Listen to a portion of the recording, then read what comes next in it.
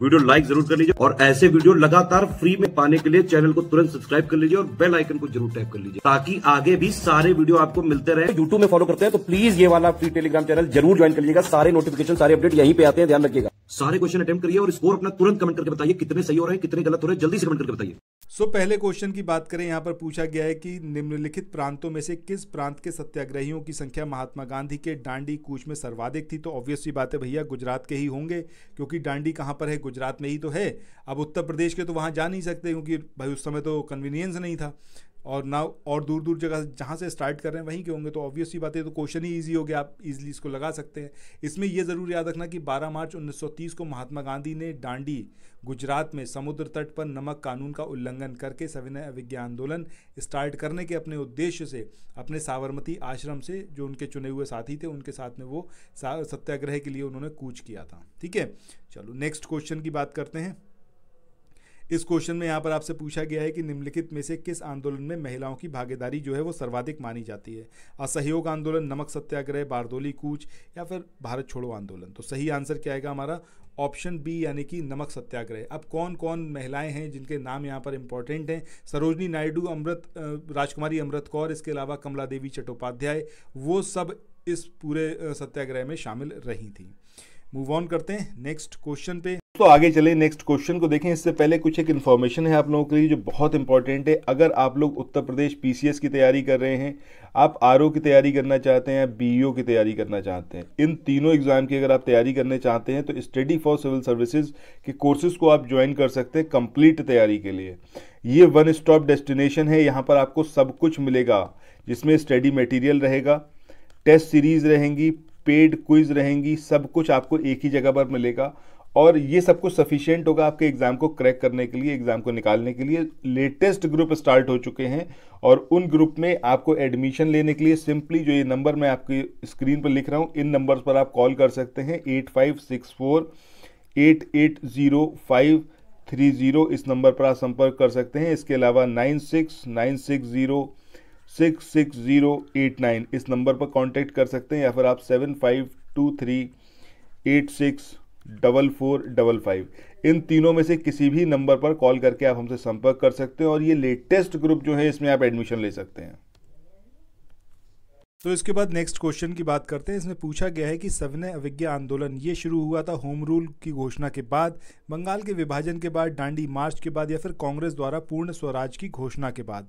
तो सही आंसर क्या आएगा यहाँ पर हमारा? ऑप्शन सी यानी कि डांडी मार्च के बाद। इसके बाद मूव ऑन करते हैं नेक्स्ट क्वेश्चन पे। इस क्वेश्चन में यहाँ पर पूछा गया है कि डांडी मार्च ये शुरू किया गया था कब? तो सही आंसर क्या आएगा यहाँ पर कि जब नमक कानून तोड़ा गया था, उसके बाद यानी कि ऑप्शन बी जो होगा वो यहाँ पर हमारा सही आंसर होगा। ठीक है? इसके बाद मूव ऑन करते हैं नेक्स्ट क्वेश्चन पे।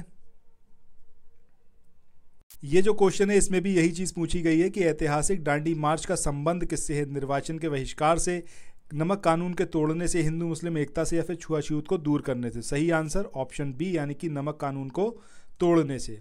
इसके बाद अगले क्वेश्चन की बात करते हैं। यहाँ पर पूछा गया है इसमें कि भारतीय इतिहास में 6 अप्रैल 1930 की तिथि, ये मानी जाती है। अब ये किस चीज़ से रिलेटेड है? ये आपको यहाँ पर बताना है कि ये महात्मा गांधी द्वारा डांडी मार्च जो हेतु, इसको मतलब इस डेट को माना जाता है या फिर ये प्रथम गोलमेज सम्मेलन या फिर गांधी इरविन समझौता या फिर जलियांवाला बाग हत्याकांड? तो सही आंसर ऑप्शन ए यानी कि गांधी द्वारा डांडी मार्च को शुरू किया गया। इसके बाद नेक्स्ट क्वेश्चन की बात करते हैं। इस क्वेश्चन में यहाँ पर पूछा गया है कि महात्मा गांधी द्वारा नमक आंदोलन वर्ष 1930 में चलाया गया, बिल्कुल सही बात है। और महात्मा गांधी का उद्देश्य था कि गरीब, गरीबों को जो है नमक मुफ़्त हो जाए, ये इसके अंदर दिया हुआ है। अब देखो, जो ये स्टेटमेंट है स्टेटमेंट तो यहाँ पर सही है बट जब हम बात करते हैं इसके कथन की तो कथन यहाँ पर क्या है, हमारा इनकरेक्ट है। सॉरी जो कारण है वो इनकरेक्ट है, ठीक है? सो आंसर हमारा क्या आएगा? ऑप्शन सी यानी कि ए सही है तो इस क्वेश्चन में यहाँ पर पूछा गया है कि सत्ता जो यहाँ पर दिया हुआ है ना, ये इनकरेक्ट है, यहाँ पर शांति होगा, ठीक है? तो शांति के विरुद्ध अधिकार की इस लड़ाई में मैं विश्व की सहानुभूति चाहता हूँ, ये कथन किससे संबद्ध है? असहयोग आंदोलन से है, गांधी जी की जो डांडी यात्रा थी, या फिर वैयक्तिक सत्याग्रह, या फिर भारत छोड़ो आंदोलन? तो सही आंसर ऑप्शन बी आएगा, यानी कि गांधी जी की जो डांडी यात्रा थी, उससे ये रिलेटेड है।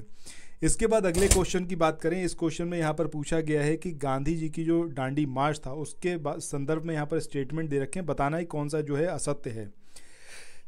तो पहला स्टेटमेंट है कि ये साबरमती आश्रम से डांडी ग्राम तक का मार्च था, एकदम सही है। दूसरा है, नमक कर का विरोध करना, उसका विशेष प्रयोजन था, ये भी सही है।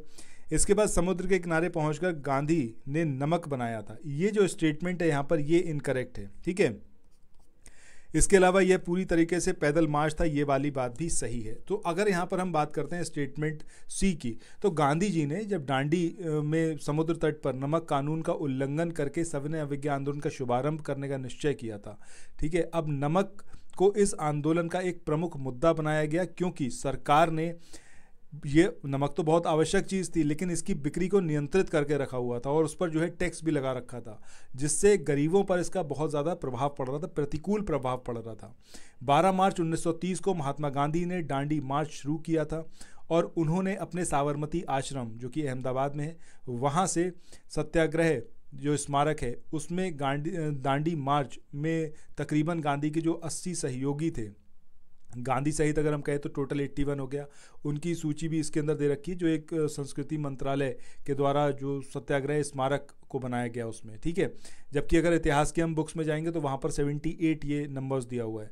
सो ये सारी चीज़ याद रखनी है। बाकी 24 दिनों की लंबी यात्रा के बाद 5 अप्रैल 1930 को वो डांडी पहुँचे थे और 6 अप्रैल 1930 को उन्होंने मुट्ठी भर नमक अपने हाथ में लेकर सत्याग्रह जो सविनय अविज्ञा आंदोलन था उसका श्री गणेश किया था। सो ऑप्शन सी जो है वो यहाँ पर कैसा है? हमारा असत्य है।